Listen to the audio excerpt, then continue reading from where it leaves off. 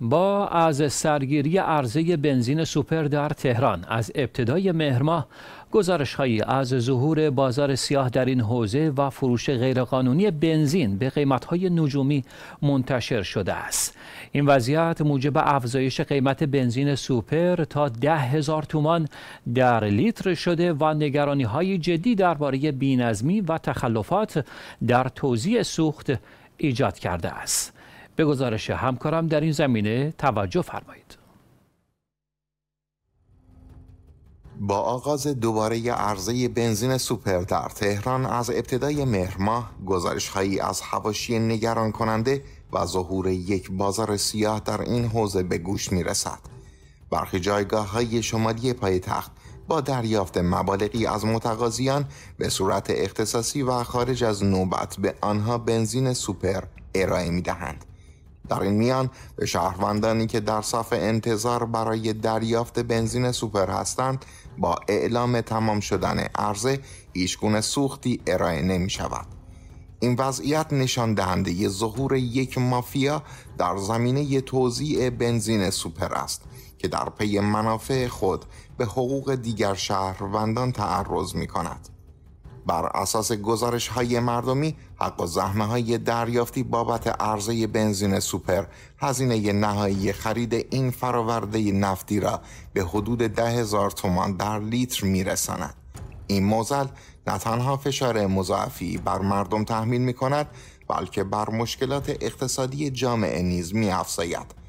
در شرایطی که بسیاری از مردم ایران با چالش های معیشتی دست و پنجه نرم می کنند این وضعیت به وضوح نشان دهنده بینظمی و عدم نظارت کافی در حوزه توزیع سوخت است.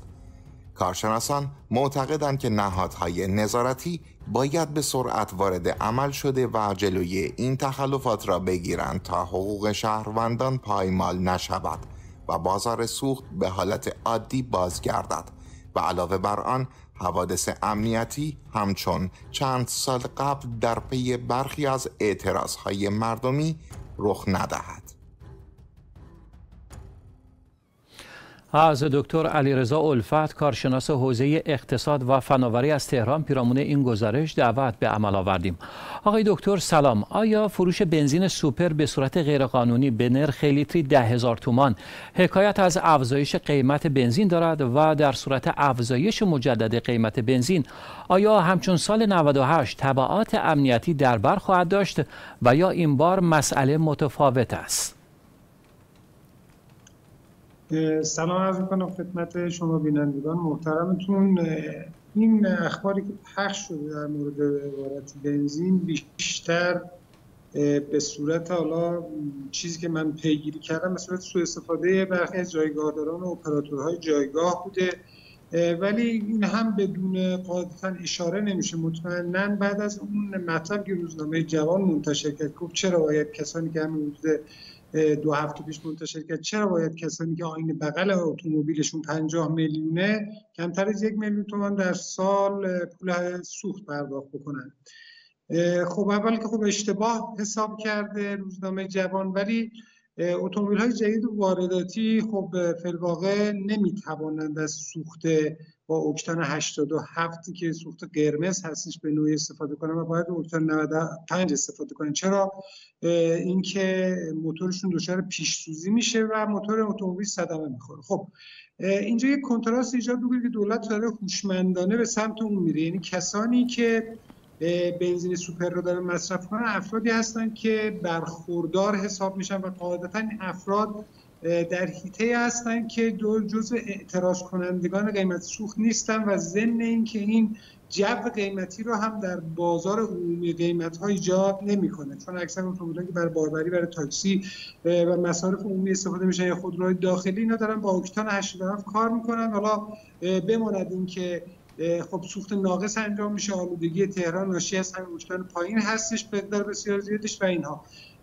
ولی زمین سازی برای افزایش قیمت سوخت به صورت پله‌ای کاملا در اینجا به چشم می‌خوره. ولی اینی که با این وضعیت و این حرکت آرامی که داره انجام میشه منجر بشه به اون نارامی ها و افزایش قیمت های تورمی و تورم افزایش وجود نخواهدش به نظر نمی‌رسه دوچار این موضوع بشیم. ولی به هر حال الان این واقعی هستش که داره دولت توی آب به جوش میآورتش و داره کم کم گرمش می‌کنه و این واقعا هم هیچ حرکتی از خودش بروز نخواهد بله ممنونم با تشکر از دکتر علیرضا الفت کارشناس حوزه اقتصاد و فناوری از تهران که پیرامون این گزارش دعوت ما را پذیرفتند.